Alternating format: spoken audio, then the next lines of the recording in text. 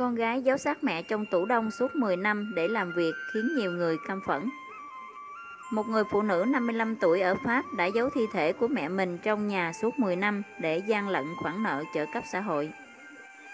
Trang Miro đưa tin, mới đây cảnh sát Pháp đã phát hiện thi thể của một cụ bà 90 tuổi được cất giấu suốt 10 năm trong một chiếc tủ đông đặt tại nhà riêng ở làng Hossariu, phía tây nam nước Pháp. Theo điều tra, kẻ giấu xác bà cụ chính là một người phụ nữ 55 tuổi, con gái ruột của nạn nhân. Cái xác được bao bọc trong một tấm bạc rồi giấu trong tủ đông đá. Chiếc tủ không cắm điện và được đặt ngoài vườn. Đó chỉ là nơi cất giấu cái xác người phụ nữ này đã không hề thông báo gì về cái chết của bà mẹ. Nguồn tin từ cơ quan công tố địa phương cho biết, trong cuộc thẩm vấn vào hôm thứ Ba 30 tháng 5, người phụ nữ này khai nhận đã cố tình cất giấu thi thể mẹ mình để lĩnh khoản lương hưu hơn 2.000 USD mỗi tháng.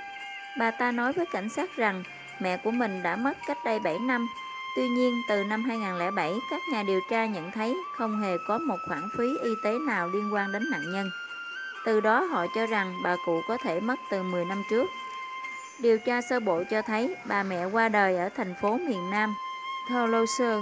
Điều đó có nghĩa là thi thể của bà đã được cô con gái vận chuyển bí mật tới làng Houserill, nơi cách chỗ ở cũ khoảng 165 km, vào tháng 7 năm 2016. Từ đó đến nay, tất cả mọi khoản trợ cấp của bà mẹ đều đến tay người con gái. Cảnh sát cũng phát hiện người phụ nữ 55 tuổi đã tráo đổi hình ảnh của mình trên giấy phép lái xe của bà mẹ. Đây là một hành vi phạm tội có liên quan đến việc chiếm đoạt tài sản của người khác. Sau khi kết quả khám nghiệm tử thi được công bố vào ngày 1 tháng 6, cơ quan điều tra sẽ kết luận cái chết của bà cụ 90 tuổi là do nguyên nhân tự nhiên hay bị hãm hại. Người mẹ ba con bị chồng cũ sát hại tàn bạo, giấu xác trong vali vì ghen tuông.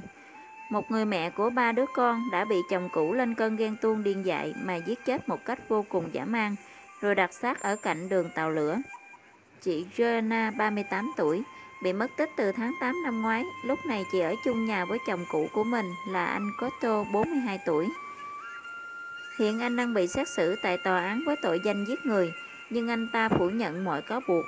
Theo điều tra ban đầu, anh Cotto và chị Gergana đã có mối quan hệ vợ chồng với nhau trong suốt 15 năm.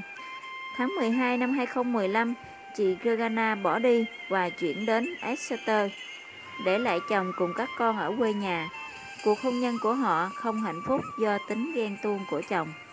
Điều tra viên tại tòa án cho biết, anh chồng rất ưa dùng bạo lực thể xác. Anh rất hay ghen ở mức độ không thể kiểm soát được. Đặc biệt là sau khi uống rượu, anh ta sẽ trở nên điên cuồng và đánh đập vợ vô cùng thô bạo.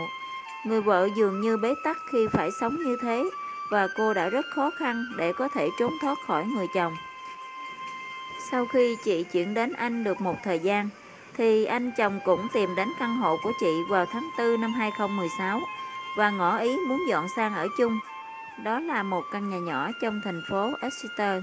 Vì thương con cái và vì những lời hứa hẹn, người vợ đã chấp nhận chung sống tiếp tục với người chồng vũ phu. Tuy nhiên, vẫn chứng nào tật nấy, anh chồng tiếp tục thói hành hung vợ và đỉnh điểm là trận cãi nhau lôi đình vào ngày 4 tháng 8 năm 2016. Vào ngày này, anh cãi nhau với vợ vì nghi ngờ vợ có một mối quan hệ không bình thường. Kể từ ngày đó, người ta không còn nhìn thấy chị nữa. Biết tính của anh ưa dùng bạo lực nên anh bị tố cáo là đã giết vợ mình vào đêm định mệnh đó. Ở nơi làm việc, cô là một nhân viên tích cực và hòa đồng, nên thường xuyên qua lại với các đối tác nam. Điều này khiến người chồng ghen tức. Sau khi cô mất tích, mọi người bắt đầu đổ xô nhau đi tìm kiếm và cuối cùng phát hiện được xác của cô đặt trong một vali cạnh đường ray xe lửa vào ngày 16 tháng 8. Các chuyên gia điều tra tìm thấy nhật ký những cuộc điện thoại cho thấy chị Gergana dự định có một chuyến bay về Bulgaria vào ngày 4 tháng 8. Nhưng phía hãng hàng không cho biết chị đã không lên chuyến bay. Ngoài ra, qua điều tra còn cho biết anh Cotto đã giữ điện thoại của vợ trong hai ngày 6 và ngày 7 tháng 8. Qua những khai nhận ban đầu, anh Cotto cho biết vợ đã chấp nhận hai người làm lại từ đầu, nhưng vào thời điểm đó người vợ đang có mối quan hệ mới chấm nở với một người khác tên là Tudoro. Cả ba người đều có một thời gian chung sống cùng nhau tại căn nhà nhỏ ở phố Linsan. Cotto cho biết anh đã không thể chịu đựng được việc này. Vào một bữa tiệc giữa tháng 5, anh đã ghen tức tới nỗi dùng kéo để cắt đứt quần áo, đập hư điện thoại và khiến mình bị thương ở ngón tay. Vì hoảng sợ nên chị đã sang nhà của Todoro để trốn tránh. Điều này khiến Koto càng thêm tức giận và dẫn đến nhiều hành động thiếu kiểm soát sau đó. Hiện Koto vẫn đang lựa chọn quyền im lặng trước nhiều câu hỏi, diễn biến vụ việc sẽ còn tiếp tục.